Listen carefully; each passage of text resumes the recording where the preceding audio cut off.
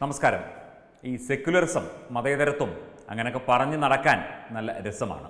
പക്ഷേ അവനവന്റെ കാര്യത്തോട് വരുമ്പോൾ ഈ മതേതരത്വവും അങ്ങനെയുള്ള കാര്യങ്ങളൊന്നും പലരിലും കാണാറില്ല എന്നുള്ളതാണ് വാസ്തവം. അതായത് ഏതെങ്കിലും തരത്തിൽ ഒരു ന്യൂനപക്ഷ സമുദായാംഗം അല്ലെങ്കിൽ ന്യൂനപക്ഷവുമായി ബന്ധപ്പെട്ട് ആ മതവുമായി ബന്ധപ്പെട്ട് പ്രവർത്തിക്കുകയോ ആ മതത്തിന്റെ പ്രധാനപ്പെട്ട ചുമതല വഹിക്കുകയോ ചെയ്യുന്നയാൾ എന്തെങ്കിലും ചെയ്താൽ അത് മതേതരത്വവും ഒരു ഹിന്ദു സന്യാസിയോ അല്ലെങ്കിൽ ഒരു ഹിന്ദു പുരോഹിതനോ പുരോഹിതനോ എന്തെങ്കിലും ചെയ്താൽ അത് വർഗീയവുമാകുന്ന ഒരു കാലഘട്ടത്തിലൂടെയാണ് ഒരു ഇരുണ്ട കാലഘട്ടത്തിലൂടെയാണ് പലപ്പോഴും നാം കടന്നു പോകാറുള്ളത്. ഇവിടെ അയോധ്യയിലെ ശിലാന്യാസ ചടങ്ങ് ദേശീയ മാധ്യമമായ ദൂരദർശൻ സംപ്രേഷണം ചെയ്യും എന്ന് പറഞ്ഞപ്പോൾ അതിനെ എതിർക്കാൻ നാലുപാടുന്നും പലരും ഓടിയെത്തി. ഇടത് ജിഹാദി കൂട്ടങ്ങളായിരുന്നു ഓടിയെത്തിയതിൽ പ്രമുഖരായ വ്യക്തികൾ എന്നുള്ളതാണ് വാസ്തവം. ബിനോയ് വിശ്വം എം ഇത് സംബന്ധിച്ച് പ്രസാർഭാരതിക്ക് കത്ത് കൊടുക്കുകയും ചെയ്തു. ഇവിടെ എന്തെല്ലാം കാര്യങ്ങൾ ദേശീയ ചാനലായ ദൂരദർശൻ സംപ്രേഷണം ചെയ്തിട്ടുണ്ട്. പല പ്രധാനപ്പെട്ട ചടങ്ങുകളും ഇവന്റുകളും ഒക്കെ തന്നെ ഇവിടെ ഡി ഡി സംപ്രേഷണം ചെയ്തിട്ടുണ്ട്. അന്നൊന്നും ഈ ഒരു വാചാടോപമോ അല്ലെങ്കിൽ ഈ പരാതിയോ ഒന്നും കണ്ടില്ല. ഇവിടെ രാമക്ഷേത്രം പണിയുമ്പോൾ അത് സംപ്രേഷണം ചെയ്യുന്നതിന് മാത്രമാണ് ഇവിടെ ചിലർക്ക് ചൊറിച്ചിൽ. നമുക്ക് നെഹ്റുവിന്റെ കാലത്തേക്ക് ഒന്ന് പോയി നോക്കാം. മതേതരത്വം നെഹ്റുവിന്റെ കാലത്ത് എങ്ങനെയാണ് ഇവിടെ പുലർന്നിരുന്നത് എന്ന കാര്യം നമുക്കൊന്ന് അറിയണ്ടേ? നെഹ്റു ശരിക്കും പറഞ്ഞു കഴിഞ്ഞാൽ കാശ്മീരി പണ്ഡിറ്റാണെന്നൊക്കെ പറയുന്നു എന്നുള്ളതല്ലാതെ നെഹ്റു എന്ന സർനെയിമുള്ള പണ്ഡിറ്റ് വിഭാഗം കാശ്മീരിൽ ഇല്ല. അത് ചരിത്രമാണ് വേണമെങ്കിൽ അന്വേഷിക്കാം. ഇദ്ദേഹം ആത്യന്തികമായി മുസ്ലിം എന്ന് പറയുന്ന ഇദ്ദേഹത്തിന്റെ വലിയച്ഛൻ ഗിയാസുദ്ദീൻ ഗാസി എന്ന് പറയുന്ന മുഗളന്മാരുടെ അവസാനത്തെ കമ്മീഷണറായിരുന്നു എന്നൊക്കെ പറയുന്നുണ്ട്. എന്തൊക്കെയായാലും അതിന്റെ ചരിത്രവും വേരുമെന്നും ഇപ്പോൾ തേടിപ്പോയിട്ട് കാര്യവുമില്ല തേടി പോകേണ്ട കാര്യവുമില്ല. നമുക്ക് നോക്കാം. നെഹ്റു സൗദി അറേബ്യയിൽ സന്ദർശനത്തിനായി പോയപ്പോൾ മക്കയിൽ പോകണം എന്ന് അദ്ദേഹം തന്നെ പറഞ്ഞു. അങ്ങനെ മക്കയിൽ പോയി അദ്ദേഹം സന്ദർശിച്ചു അവിടെ പ്രാർത്ഥനകളൊക്കെ നടത്തി. അത് മതേതരത്വം അംഗീകരിക്കുന്നു. ആയിക്കോട്ടെ നല്ല കാര്യം തന്നെ. അദ്ദേഹത്തിന്റെ മതേതര ചിന്ത അങ്ങനെയാണ് വന്നതെങ്കിൽ തീർച്ചയായും സന്തോഷം തന്നെ. സൗദി അറേബ്യയിൽ പോയി മക്കയിൽ പോയി പ്രാർത്ഥിച്ചു. ഇന്ത്യയുടെ പ്രധാനമന്ത്രിയാണ്. നന്നായി. താഴോട്ട് വരിക.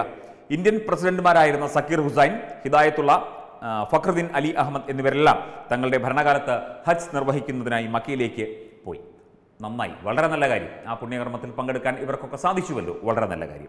ഇന്ത്യൻ പ്രസിഡന്റ് ആയിരുന്ന ഗ്യാനി സെയിൽസിംഗ്. സിംഗ് സെയിൽ സിംഗിനെ എല്ലാവർക്കും അറിയാം.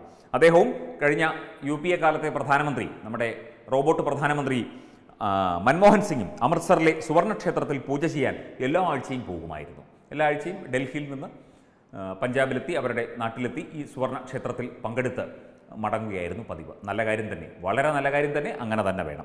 രണ്ടായിരത്തി പതിമൂന്നിൽ ഇറ്റലിക്കടുത്തുള്ള റോമിൽ പോപ്പിനെ തിരഞ്ഞെടുക്കുന്നത് മൂന്ന് ദിവസം ദൂരദർശനിൽ ലൈവായി ഇന്ത്യക്കാരെ കാണിച്ചുകൊണ്ടിരുന്നു. രണ്ടായിരത്തി പതിമൂന്നിൽ രണ്ടായിരത്തി പതിമൂന്നിൽ യു പി എ ഭരിക്കുമ്പോൾ ഇറ്റലിയിൽ റോമിൽ അവിടെ മാർപ്പാപ്പയെ തിരഞ്ഞെടുക്കുന്നത് എത്ര മണിക്കൂറാണ്? ഏതാണ്ട് മുപ്പത്തിയാറ് മണിക്കൂറോളം. മുപ്പത്തിയാറോ എഴുപത്തിരണ്ടോ മണിക്കൂർ ലൈവായി ദൂരദർശനിൽ സംപ്രേഷണം ചെയ്തു. അത് കണ്ടവർ ഇന്നും ഉണ്ടാകും രണ്ടായിരത്തി പതിമൂന്നാണ് അധിക കാലമൊന്നും പുറകോട്ട് പോകേണ്ട. ഏഴ് വർഷം പുറകോട്ട് പോയാൽ മതി. അന്ന് ഇറ്റലിയിൽ പോപ്പിനെ തെരഞ്ഞെടുക്കുന്നത് ലൈവായി കാണിച്ചു. മതേതരത്വം അതല്ലേ? അങ്ങനെയാണല്ലോ വേണ്ടത്. അന്യരാജ്യത്ത് നടക്കുന്ന ഒരു ക്രിസ്ത്യൻ പോപ്പിനെ തിരഞ്ഞെടുക്കുന്നത് ഇവിടെ ഇവിടുത്തെ ദേശീയ മാധ്യമം ലൈവായി കാണിച്ചു. മതേതരത്വം പുലരണമല്ലോ. പിന്നെ ഈ അയോധ്യയുടെ കാര്യത്തിൽ എന്താണ് ഇത്ര ചോദിച്ചിൽ? ആ ചോദ്യം പിന്നാലെ വരുന്നുണ്ട്. നിൽക്ക്.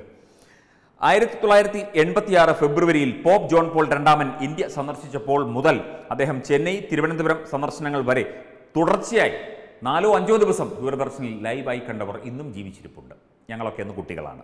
അത് മതേതരത്വത്തിന്റെ മകുടഭാവം എന്നേ പറയാൻ പറ്റൂ അത്. പോപ്പിനെ കാണാനായി പ്രധാനമന്ത്രിമാരായ ഇന്ദിരാഗാന്ധി എൺപത്തി ഒന്നിലും ഐ കെ ഗുജറാൾ എൺപത്തിയേഴിലും പിന്നെ രണ്ടായിരത്തി പതിനാറിൽ മദർ തെരേസയുടെ വാഴ്ത്തപ്പെട്ട ചടങ്ങുകൾ. ഇതൊക്കെ തന്നെ ദൂരദർശൻ ലൈവായിട്ടും അല്ലാതെയും ഒക്കെ ജനങ്ങളെ കാണിച്ചതാണ്. ശരിയല്ലേ? രണ്ടായിരത്തി എട്ട് ഒക്ടോബർ പന്ത്രണ്ട് അൽഫോൺസാമയെ വാഴ്ത്തപ്പെട്ടുന്ന ചടങ്ങ് എട്ട് മണിക്കൂർ കേരളത്തിലെ കമ്മ്യൂണിസ്റ്റ് മന്ത്രിമാർ പങ്കെടുത്ത ചടങ്ങ് ലൈവ് ടെലികാസ്റ്റ് എട്ട് മണിക്കൂർ ലൈവ് ടെലികാസ്റ്റ് അതും ദൂരദർശൻ അന്ന് ചെയ്തു. രണ്ടായിരത്തി പതിനാല് നവംബർ ഇരുപത്തിനാല് ചാവറ അച്ഛനെയും ഏവു പ്രസാമയെയും വിശുദ്ധരാക്കിയപ്പോൾ ലൈവ് ടെലികാസ്റ്റ് പതിനാല് മണിക്കൂർ. എന്നാൽ സുപ്രീം കോടതി വിധിന്യായത്തിന് അനുസൃതമായി അയോധ്യയിൽ ശ്രീരാമ ജന്മഭൂമിയിൽ അമ്പലം പണിയുന്ന സ്ഥലത്തേക്ക് പ്രധാനമന്ത്രി പോയാൽ കോൺഗ്രസ്സുകാരും മുസ്ലിങ്ങളും കമ്മ്യൂണിസ്റ്റുകാരും പറയും അത് വർഗീയമാണ്. അവിടെ നടക്കുന്ന ഭൂമിപൂജ ദൂരദർശനിൽ ലൈവായി കാണിച്ചാൽ മതേതരത്വം തകർന്നു പോകും. അപ്പോൾ പ്രധാനമന്ത്രിയും എല്ലാവരും ചേർന്ന് രാജ്യത്തെ വർഗീയവൽക്കരിക്കുന്നു എന്ന വാദം ഉയരുന്നു. അല്ല ഇത് എന്തു മതേതരത്വമാണ്? ഇത്രയും കാര്യങ്ങൾ ഈ സൂചിപ്പിച്ച ഇത്രയും കാര്യങ്ങൾ ഇവിടെ ലൈവായി കണ്ടവർ ഇന്നും ഇവിടെ ജീവിച്ചിരിക്കുന്നു. ഒരുപാട് കാലമൊന്നുമായില്ല അപ്പോൾ ഇവിടെ ഈ മഹാസംഭവം സുപ്രീം കോടതി വിധിക്കനുസൃതമായി ഭാരതീയ സംസ്കാര സാംസ്കാരിക പാരമ്പര്യത്തിൽ ഊന്നി നിന്നുകൊണ്ട് ഒരു മഹാക്ഷേത്രം ഇവിടെ ഉയരുമ്പോൾ ലോകം മുഴുവൻ ലോകത്തുള്ള സകലമാന രാജ്യങ്ങളും ഈ ഒരു ചരിത്ര സംഭവത്തിലേക്ക് ഉറ്റുനോക്കുമ്പോൾ ലോക നേതാക്കളൊക്കെ തന്നെ ഈ ഒരു വിഷയത്തിൽ ഇന്ത്യയെ അഭിനന്ദിക്കുമ്പോൾ ബ്രിട്ടീഷ് പ്രധാനമന്ത്രിയായ ബോറിസ് ജോൺസൺ പ്രതീകമായി ശ്രീരാമന്റെ വിഗ്രഹത്തിൽ തീർത്ഥം അഭിഷേകം ചെയ്യുന്ന ചിത്രങ്ങൾ സമൂഹ മാധ്യമങ്ങളിൽ വൈറലാകുമ്പോൾ ഈ ഈ ഒരു മഹത്തായ പരിപാടി തത്സമയം രണ്ട് മണിക്കൂറോ മൂന്ന് മണിക്കൂറോ ദൂരദർശൻ സംപ്രേഷണം ചെയ്യുന്നതിലാണ് ഇവിടെ മതേതറന്മാർക്ക് ചോർച്ചിൽ പോയി പണി നോക്കാൻ പറയും അത്രയേ ഉള്ളൂ. ലോകം മുഴുവൻ ജനങ്ങൾ ഇത് കാണും. നിങ്ങളുടെ മതേതര സങ്കല്പവുമൊക്കെ ഏകപക്ഷീയമാക്കി വെറുതെ നാണം കെടരുത്. ഇവിടെ ഹിന്ദു എന്ന മതവും സംസ്കാരവും എല്ലാം ചേർന്ന ആ ഒരു കൂട്ടായ്മ. ആ ഭക്തിയുടെ വിശ്വാസത്തിന്റെ കൂട്ടായ്മയുണ്ട് ഇവിടെ. ഇവിടെ ഭാരതം എന്ന രാജ്യമുണ്ട്. ഹിന്ദുസ്ഥാൻ എന്ന രാജ്യമുണ്ട്. അതൊക്കെ നിങ്ങളൊന്ന് മനസ്സിലാക്കുക. നിങ്ങൾക്ക് തോന്നുമ്പോൾ മതേതരത്വം പറയാനും അല്ലാത്തപ്പോൾ വർഗീയമാക്കാനും നിങ്ങൾക്ക് നാണമില്ലേ? ഹേ എന്നൊരൊറ്റ ചോദ്യമേ നിങ്ങളോടൊക്കെ ചോദിക്കാനുള്ളൂ. ഇതിന് പിന്നാലെ നടക്കുന്നവരോടും ദൂരദർശന് എതിരെ നിൽക്കുന്നവരോടും ഇവിടെ കിടന്ന് അട്ടഹസിക്കുന്നവരോടും നിങ്ങളുടെയൊക്കെ അട്ടഹാസം വെറും മാറ്റുലിയായി അവിടെയും ഇവിടെയും കറങ്ങി നടക്കും എന്നല്ലാതെ ഒരു പ്രയോജനവുമില്ല എന്നുള്ള കാര്യം ഒന്ന് മനസ്സിലാക്കുക. അത്രയേ ഉള്ളൂ. വെബ് ഡെസ്ക് തത്വമൈ ന്യൂസ്.